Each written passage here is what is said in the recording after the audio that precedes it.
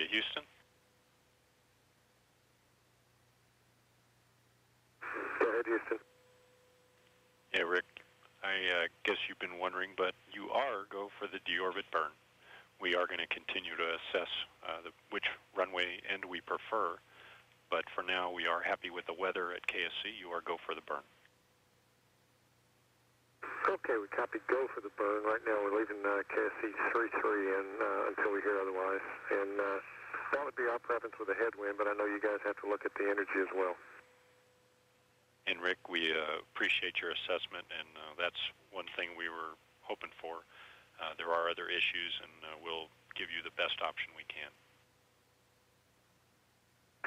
We copy, and we appreciate it. Also, we'll plan on uh, PLT flying prior to the hack if everything stays the same uh, as we were read up earlier. We copy, Rick. Capcom astronaut Charlie Hobaugh passing along a go to Commander Rick Husband of Columbia and his crew of seven to come home this morning to the Kennedy Space Center at the first opportunity to fire Columbia's engines in under six minutes from now, about uh, five and a half minutes to begin its descent from orbit and an approach to the Kennedy Space Center that would have it touch down at the shuttle runway at 8.16 a.m. Central Time. Flight controllers continue to evaluate which end of the runway Columbia will approach based on uh, weather conditions. Uh, runway 15 or runway 33 as the ends are labeled. Both ends are acceptable at this point. It's just a matter of which one is the very best.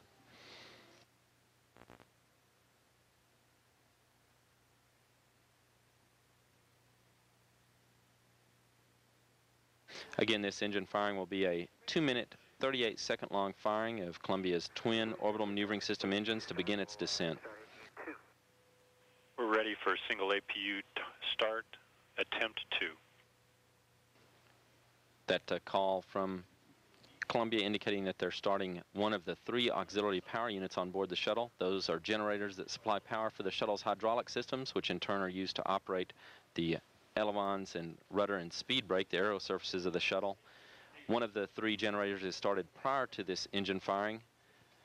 The other two will be started after the engine firing is completed and uh, while Columbia is on its descent toward the atmosphere.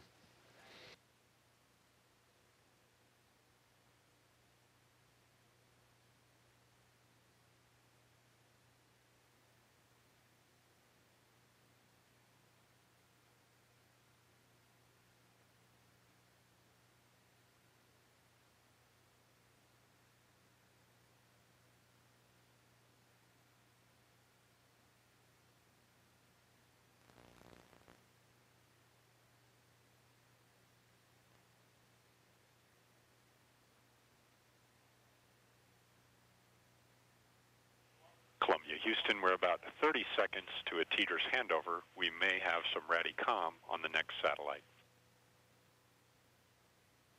Okay, Houston, we copy.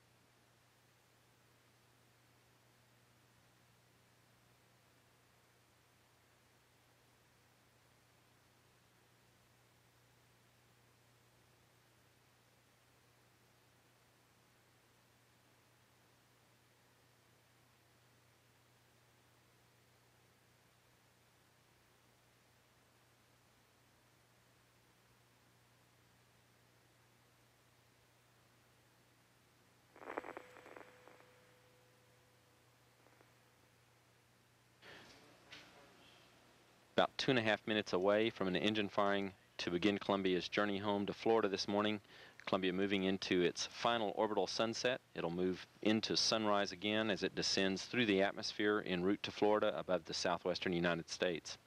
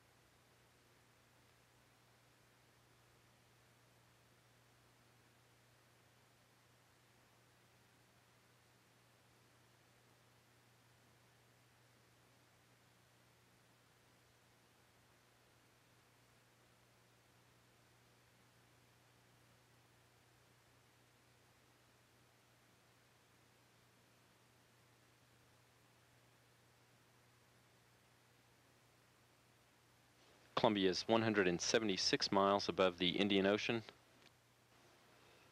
to the west of Australia, about uh, 30 seconds away from the start of an engine firing to begin its descent toward Florida, completing 16 days of scientific work in orbit. This will be a 2 minute 38 second long firing of both orbital moving system engines for the shuttle, putting it on a course toward a touchdown at the Kennedy Space Center's shuttle runway at 8:16 a.m. We copy, Houston. Thanks.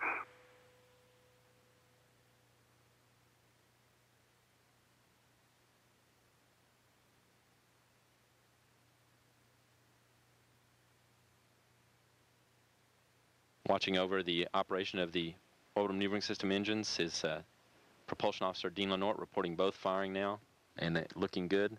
Two minutes and 38 seconds that both will fire to drop Columbia out of orbit, put it on a course toward its first encounters with the atmosphere at an altitude of about 75 miles above the Pacific Ocean to the north of the Hawaiian Islands. Columbia's altitude at present 175 statute miles.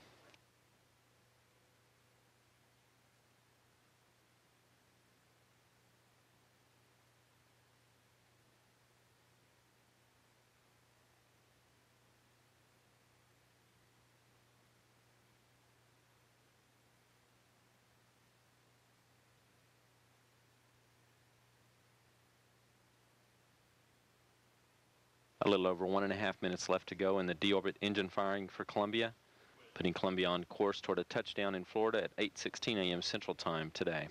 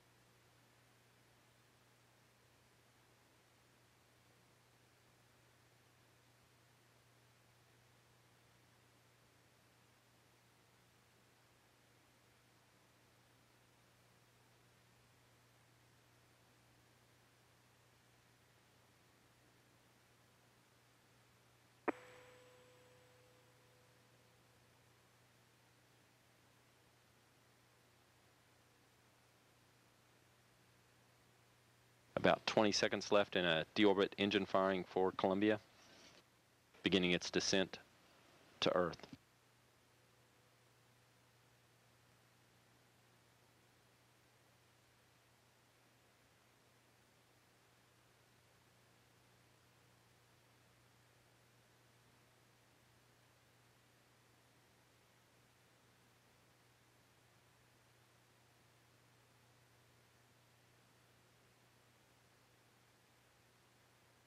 Columbia, Houston, good burn, no trim required. We copy and concur, Houston. Thanks. And we'll meet you in post-burn. The guidance officer confirming that uh, Columbia is right on track uh, toward a landing at the Kennedy Space Center at 8:16 a.m. Central. Its first encounter with the atmosphere will come in about uh, 25 minutes as it uh, descends to an altitude of about 75 statute miles above the Pacific Ocean, north of the Hawaiian Islands. Its altitude at present 176 statute miles.